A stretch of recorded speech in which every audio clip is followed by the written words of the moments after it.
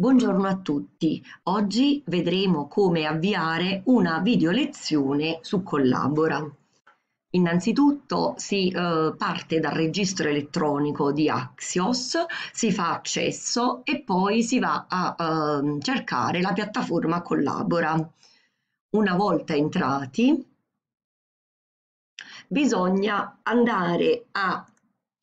uh, definire la nuova lezione, per cui crea una nuova lezione,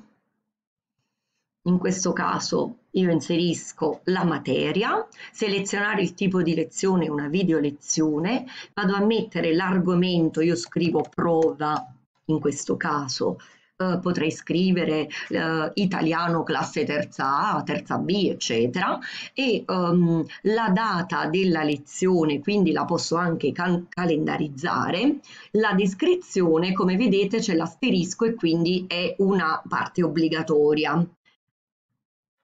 Poi pianificazione della video lezione abilita bottone di accesso alla video lezione. L'ho abilitato tramite Jitsi posso inserire la data e l'ora dell'inizio e della fine, quindi l'ora alle 9.31 per esempio, eh, e eh, l'ora della fine anche in questo caso posso eh, inserire l'orario, quindi l'ora di chiusura. Poi selezionare eventuali altri docenti se per esempio nella classe eh,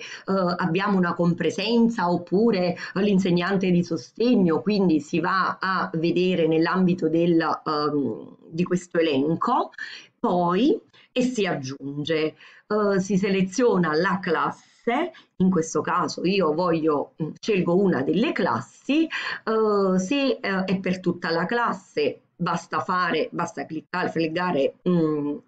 eh, il primo quadratino, se invece si tratta di un piccolo gruppo, allora oppure di un unico alunno si va a indicare soltanto eh, il nominativo.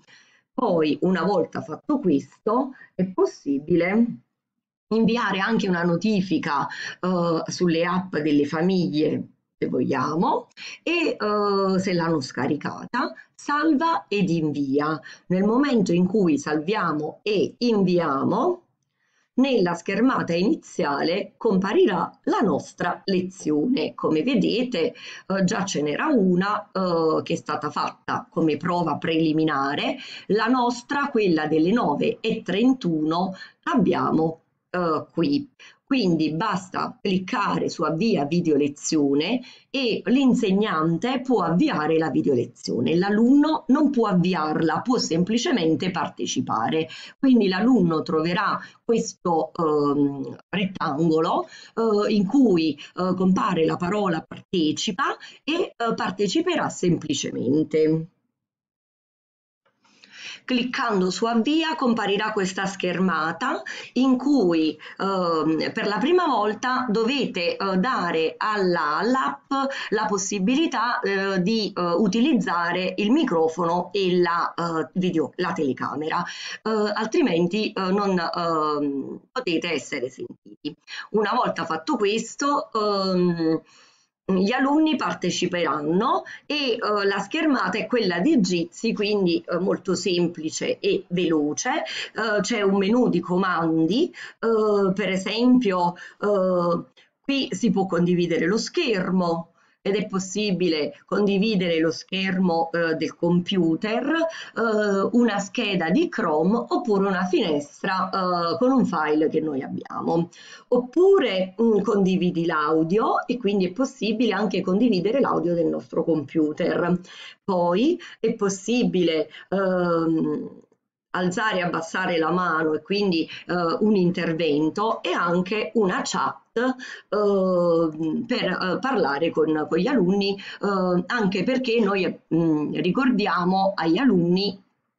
di eh, entrare nella video lezione dopo aver salutato, eh, chiudere il microfono e rimanere eh, in ascolto, intervenire su indicazione del docente eh, come richiesto. Poi Qui ci sono altre uh, notizie importanti, più azioni, è, possi è possibile per esempio bloccare il microfono di tutti tranne il proprio, di condividere un video YouTube, quindi basta condividere, in, copiare incollare uh, qui il uh, link al video per poterlo condividere e anche registrare Mm, volendo si potrebbe registrare e lasciare eh, sulla piattaforma. Um, quindi